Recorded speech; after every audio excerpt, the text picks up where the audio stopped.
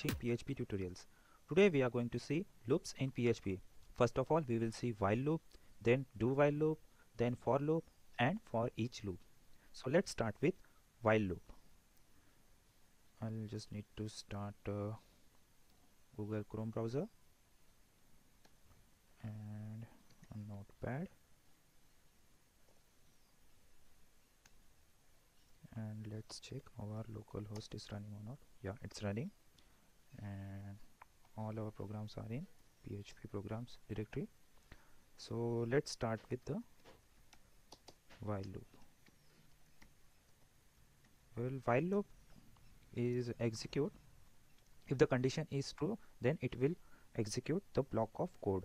If the condition is false then it will break the loop and execute the block of code after that while loop. So the syntax will be like while the condition and here code goes here. So let's see uh, with a very basic example of if you want to print a table of 5 that is 5 into 1 5 into 2 from 5 to 5 into 10 so it should print the table of 5 so we are going to use this while loop. Suppose we have a number like multiply equals to 1 and we have a number to be multiplied that is nothing but 5 let's take a while loop and suppose if I say multiply is less than or equals to 10 then the code will execute like echo the new line and dollar number into dollar multiply and equals to dot operator for concatenation dollar multiply into dollar number. So this will nothing but perform the calculation over here and this will only print on the screen. But we should write the multiply. Plus plus. That means it should increment after every statement execute in this block. So we'll just need to save this with the name while dot dot php. Now if i just refresh this so it is showing while loop.php and if I just click on this so it is showing me a table 5 into 1 5 you can check by changing this 5 to 6 whether it is working correct or not. So 6 ones are 6 6 twos are 12 18 and so on. So that's how you can use a while loop. Suppose if we forget to write this statement so it will execute infinitely. So that doesn't make make any sense. So we should take care of this statement whether it is having a terminating value or not.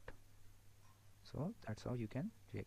You can use do while loop if you want to execute the statement at least once.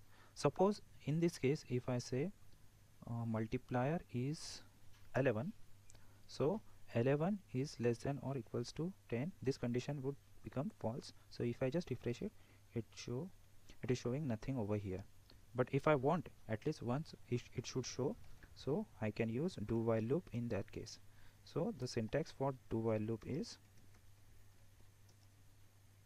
do then first execute the block of code. And then we can put the condition for the while block. So in this way you can use a do while loop. Now if I check for this same condition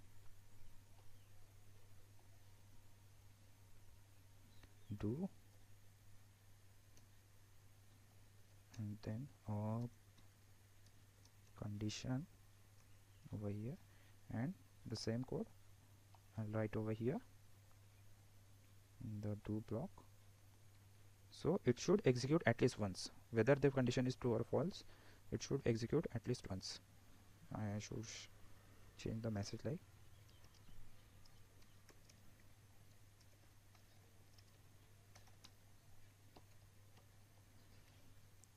if I refresh this so it is showing from do while loop 6 into 11 equals to 66 now if I change this value to 10 then also it is going to execute. And if I change the value to 1 it is going to execute like this. The first condition is also true. And from the do while loop if it is exceeding that condition like multiply is now greater than 10 so in that case the do while loop's first statement is executed. So that's how you can use while loop and do while loop. There is one more shortcut for this. That is nothing but a for loop where you can initialize a variable at the same line. You can check the condition at the same line and you can increment or decrement like we have done over here multiply plus plus. So if we can use that statement in a single line. So that's all for now. In the next tutorial we are going to see for loop and for each loop. Thanks for watching. For more videos